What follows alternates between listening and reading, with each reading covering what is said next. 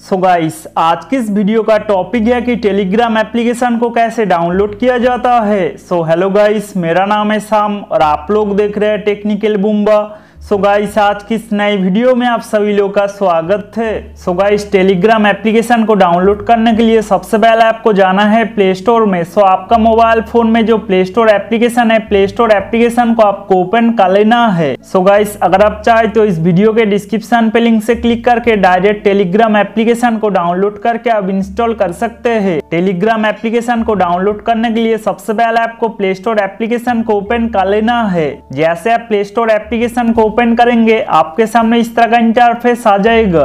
यहाँ पर आप देख सकते हैं प्ले स्टोर एप्लीकेशन का होम स्क्रीन ओपन हो चुका है।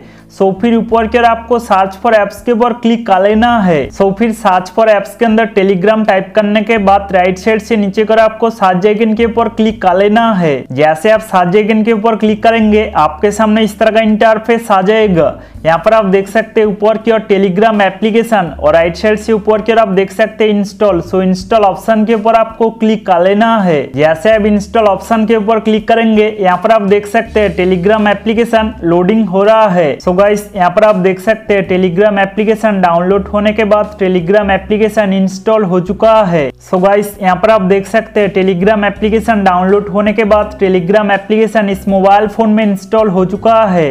सो इसी तरह से टेलीग्राम एप्लीकेशन को डाउनलोड करके टेलीग्राम एप्लीकेशन को इंस्टॉल किया जाता है। So more information more solution better technology